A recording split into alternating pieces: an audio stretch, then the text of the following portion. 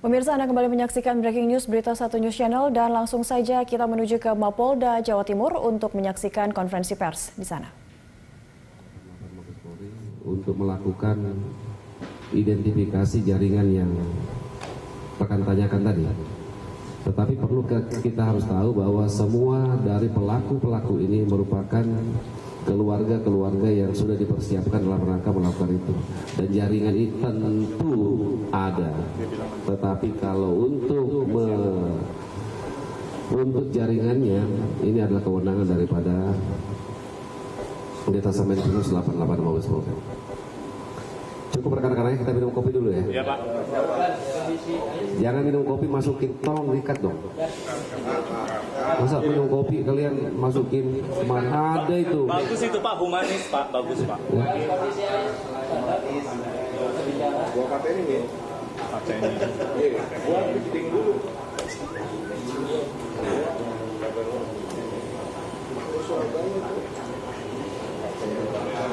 Begini, rekan-rekan media tidak ada sedikit pun juga rumah sakit Bayangkara menghalang-halangi media untuk mewawancarai daripada keluarga polisi maupun keluarga korban. Tetapi kalau untuk pertimbangan kesehatan tentunya rumah sakit juga bisa melarang seseorang untuk menjenguk daripada orang lain. Nah oleh karena itu kami menyampaikan bahwa ada yang ini ini ini, ini berita yang saya harus sampaikan. Ada yang parah memang, ada yang cukup kalau di dalam bahasa kepolisian ada luka berat, ada luka ringan. Nah luka-luka ringan dan luka berat ini tentunya secara psikologi mungkin dari rumah sakit tidak akan mempertemukan Anda untuk mewawancara daripada keluarganya. Karena jangan sampai menjadi beban lagi, bukan menjadi sumber berita tetapi justru menjadi beban daripada keluarga itu. Kami menyampaikan pertanyaan tadi, apakah dari sekian banyak ini, ya ada luka ringan, ada luka sedang dan luka berat. Ya, polisi yang luka berat tadi malam sudah dioperasi dan syukur alhamdulillah yang bersangkutan uh, masa kritisnya, yang terkapar yang kalian dapat itu, semua kalian dapat pasti di WA itu. Itu sudah berangsur-angsur pulih. Ya, masa kritis sudah lewat dan sudah berangsur-angsur pulih. Yang terberat di situ adalah seorang anggota yang menahan dua dua motor itu Nah itu yang terberat. Dan boleh dipertegas lagi ini untuk kondisi kesehatan dari Aris secara fisik itu uh, apa saja yang dialami, kemudian psikologisnya, apakah kemudian saat diajak berbicara dengan pihak kepolisian ini responsif atau seperti apa? Kemudian menegaskan lagi tadi ada pernyataan bahwa ya ada ya ada pernyataan bahwa uh, pihak Parmani ini boleh menjemput tapi tidak boleh ketemu itu maksudnya tadi seperti yang saya kurang. Oh begini, yang yang menjadi otoritas pada saat di rumah sakit bukan daripada humas ataupun penyidik. Ini perlu digarisbawahi rekan-rekan sekalian. Yang menjadi otoritas untuk memasukkan seseorang untuk bertemu satu dengan yang lainnya di dalam rumah sakit bukan otoritas penyidik ataupun humas, tetapi adalah otoritas doktoral forensik atau atau kedokteran kita. Kita melihat bahwa psikologi anak ini belum bisa untuk ditemui mereka akan melarang untuk bertemu. Dan memang harus saja melihat di balik itu bahwa kondisinya sekarang dalam intensif. Ya, saya sudah menggambarkan tadi anak seumur 8 tahun, kemudian berdampak terhadap getaran bom itu dan kemudian naik 3 meter ke atas dan kemudian jatuh ke tanah. Itu tentunya Anda bisa bayangkan sendiri bagaimana. Saya bukan orang medis untuk menjelaskan, tetapi di dalam hal ini akan saya gambarkan seperti itu supaya kita semua mengerti bahwa anak itu masih intensif di dalam rangka pemeriksaan di rumah sakit. Silakan Anda menjenguk, saya rekomendasi. Tetapi hanya me me melihat. Tidak boleh bertanya. Iya, saya akan sampaikan. Ayo untuk gambar. Ambil gambar biasanya begini loh. Saya pernah ya dengan dengan rekan-rekan media. Boleh ambil gambar. Tahu-tahu apa? Sobioan yang sana.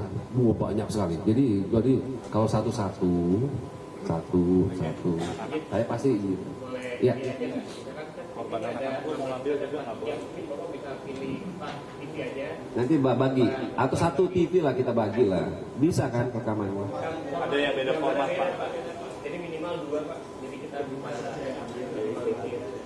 eh Umas aja ngambil katanya. Ya boleh pak. Enggak dua TV boleh Tapi, Nah, tapi, tapi, nanti kita berikan. Tapi Pak mungkin pertimbangan saya bukan bukan bukan karena teman. Tetapi- Tapi ini karena anak-anak Pak korbannya biasanya Iya. Komisi Perlindungan ya Komisi Penyiaran Indonesia kemudian KPPI nanti yang akan alat. Karena saya, saya saya sih nggak pingin gitu. Oh kalau pamannya. Ketika pamannya datang maksudnya Pak. Karena kita juga keluarga yang ingin menjenguk Saya bicara dulu sama kedokteran. Iya Pak. Ya.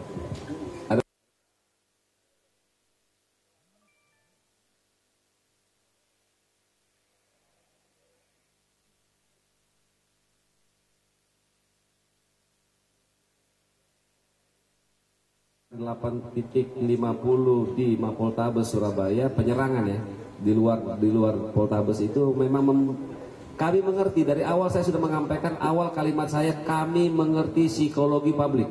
Kami mengerti psikologi masyarakat dengan kejadian ini. Tetapi hari ini ingin saya sampaikan bahwa kalau kita mendukung daripada kepolisian, kalau kita mendukung keamanan, kalau kita bersama-sama ingin bangkit, mari kita lawan ini dengan tidak takut terhadap ancaman, tidak takut terhadap teror yang ditebar daripada kejadian ini. Dan kami sudah melakukan penangkapan, ya. Tadi malam juga kami melakukan penangkapan dan selagu juga melakukan penindakan sampai dengan kami menembak mati daripada daripada tersangka teroris ini sebagai bentuk daripada Polri reaksi, terhadap ini semua dalam rangka kita menciptakan situasi yang kondusif ya. Eh, ngopi dulu bagaimana rekan-rekan? Saya saya sebentar 15 menit saya butuh. Ya pemirsa baru saja tadi kita saksikan konferensi pers yang disampaikan langsung oleh Kabit Humas Polda Jawa Timur Kombes Pol Frans Barung Mangra dari Mapolda Jawa Timur yang kembali menegaskan dan menginformasikan bahwa pelaku dari lima kejadian teror bom yang terjadi di Surabaya dan Sidoarjo dilakukan oleh tiga keluarga. Dan yang terakhir diupdate oleh Kabit Humas Polda Jawa Timur terkait pelaku dari ledakan yang terjadi di Mapolres uh, Jawa Timur kemarin pagi pukul 9 lewat 50 waktu Indonesia Barat di mana tiga, uh, empat pelaku yang menggunakan dua sepeda motor meninggal dunia sementara empat anggota polisi yang berada di lokasi kejadian hingga saat ini masih dirawat secara intensif di Rumah Sakit Bayangkara Polri.